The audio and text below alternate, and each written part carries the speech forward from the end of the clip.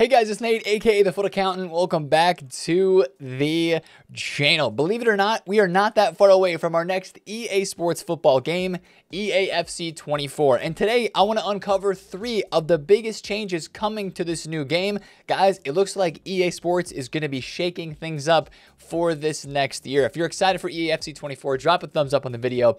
And of course, subscribe if you're new. Let's dive into it, right? First of all, it's no longer called FIFA, right? That is the whole point. We've seen all the branding, we've seen all of the posts from EA, and we all know that we're awaiting more official information coming soon in July. But the basic principle is EA Sports and FIFA have split apart. There no longer is going to be a FIFA name associated with EA Sports' game, and that's the whole reason for the name change of EAFC. This is exciting, but also scary in the fact that it's no longer going to be called FIFA because that's what it's been called for a long time, but exciting for the fact that now EA might not be, I guess you could say, constricted by contracts or by stuff that they maybe had to follow the lines of FIFA's liking before. Now they can kind of do what they want and they can own this football game, which you've already seen them start to do by signing exclusive partnership deals with so many different leagues and clubs, some of which we've already been used to seeing in FIFA, but also some new ones, right? We've got some women's teams in here. That's one of the biggest changes that we're going to be talking about today,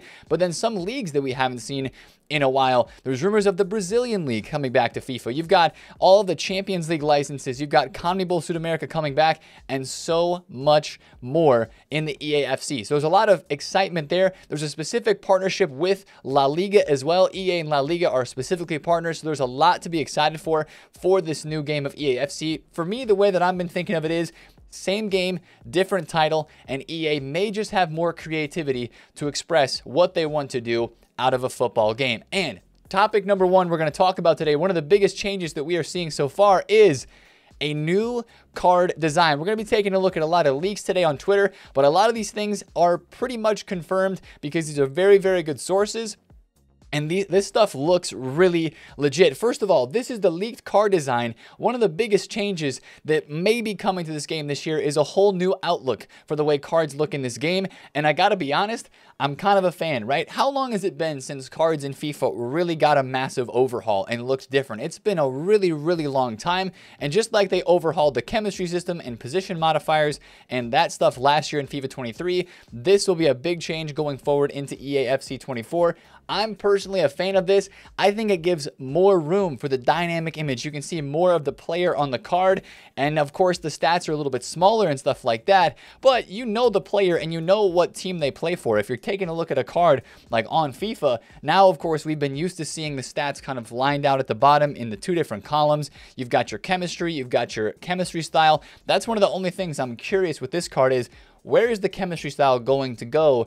Um, is there going to be a chemistry style? We're going to talk about chemistry styles a little bit as well in this video, but that is the leaked and upcoming car design that we expect to see in EAFC 24. Let me know what you guys think down below. I think it just opens up kind of a more clean, dynamic image potential and a lot more artwork that can be distributed around the card in the background as well. So I'm a fan of that. Now, speaking of cards, right? This is all under the new card design kind of topic.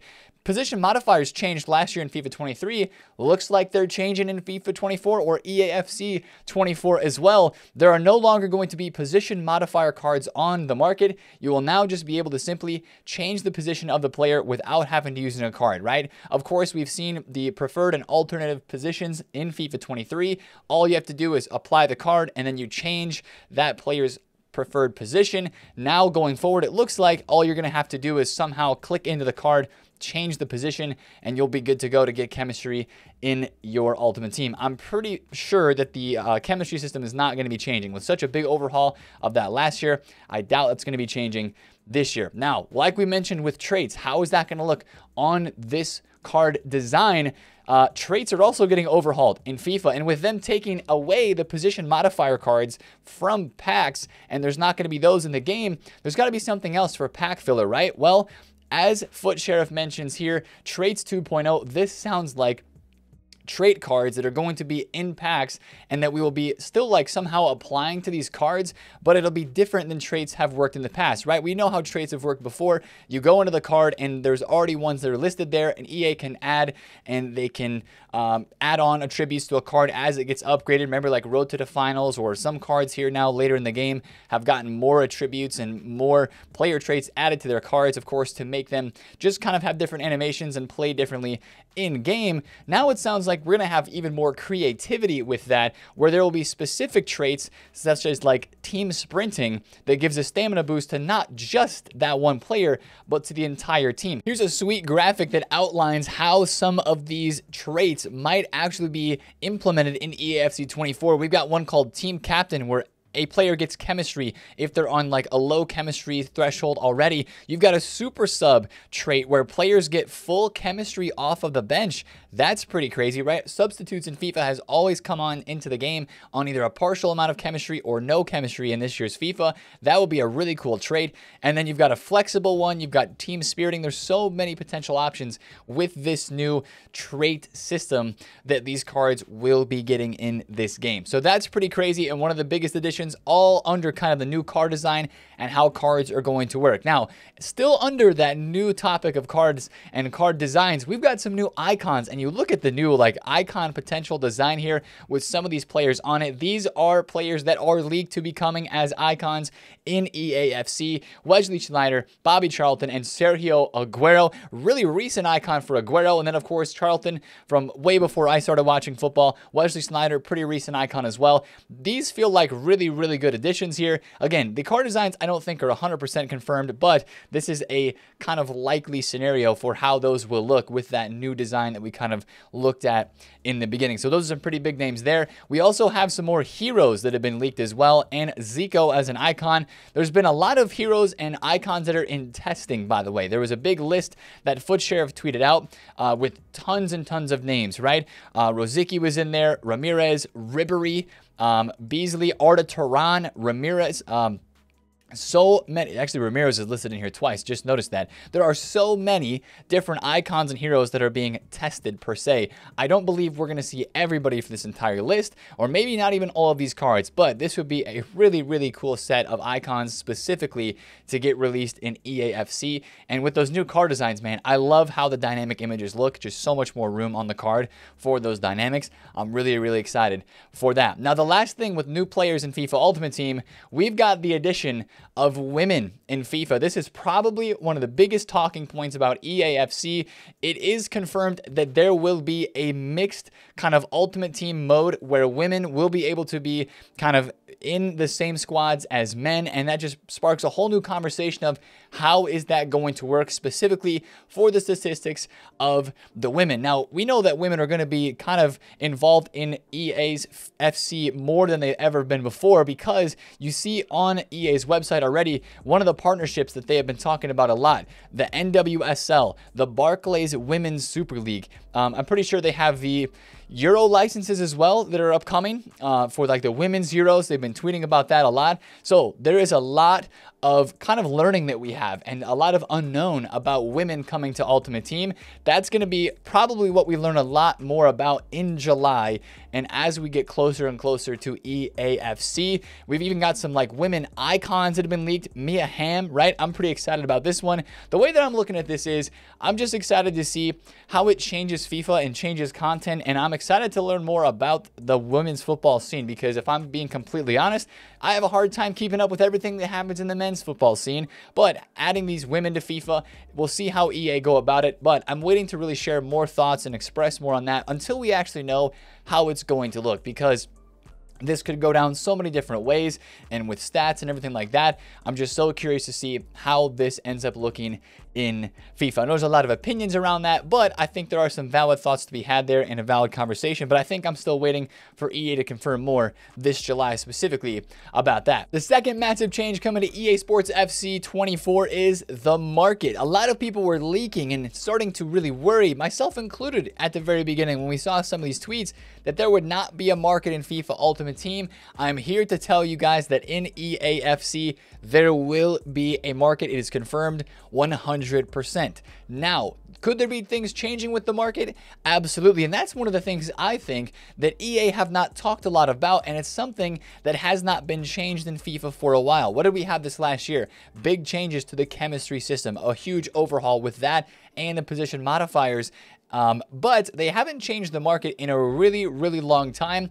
I feel like this is a part of the game that is due a refresh. I'm not exactly sure what they would do, if it would just be a visual or a UI based refresh, or if they would really change the way that we use the market. I think there is changes to this coming in EAFC. I'm not exactly sure what they're going to be though. Now, could there be some truth to these rumors that EA would be testing a no market concept? Potentially, but I think that for the game, like we talked about a long time before um, when these rumors first came out, I just think that this market is so crucial to be on the game for EA Sports to profit and to make money off of this video game. They need the market there so that they can decrease values of players and so that they can make players attainable through coins. And if you lose coins, what do you do? You go and buy packs with FIFA points to get coins. So I don't think that's going to be going anywhere. I want to put those rumors to bed because that was a big, big rumor and a big leak earlier on. Now, the other thing that I'm a bit curious about is, are we going to have a fully cross-platform market in EAFC 24? Because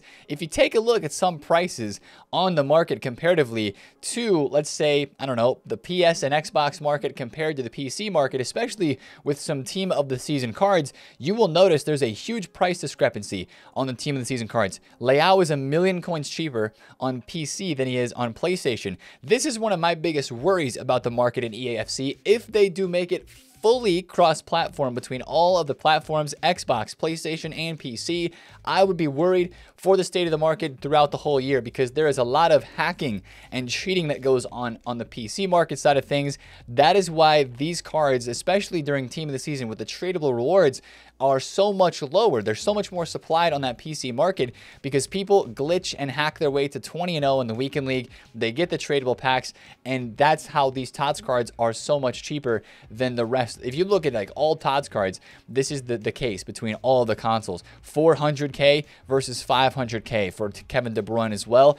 And that's how it would probably be impacting the market in EAFC 24 as well. I'm a little bit worried about that. Cross platform gameplay has been confirmed, and I was just looking up some of the news for Madden NFL 24, which is also an EA game, but I didn't really find a lot in here um, that kind of proved that there would be a cross-platform market. Uh, their their auction house is not shared across platforms right now as well, but they have fully cross-platform gameplay, which is what we have in FIFA as well. If you're on next-gen fully cross-platform gameplay, um, so we'll see if that affects the market at all. But that's something that I am going to be very very closely watching during this news release of EAFC. Now, a couple more things that I want to talk about, and I think this is going to impact the content on EAFC a lot. We've seen all of these partnerships, right? All of these different things that EA have been tweeting out all of the clubs and, and, the leagues that have been partnering with EA Sports.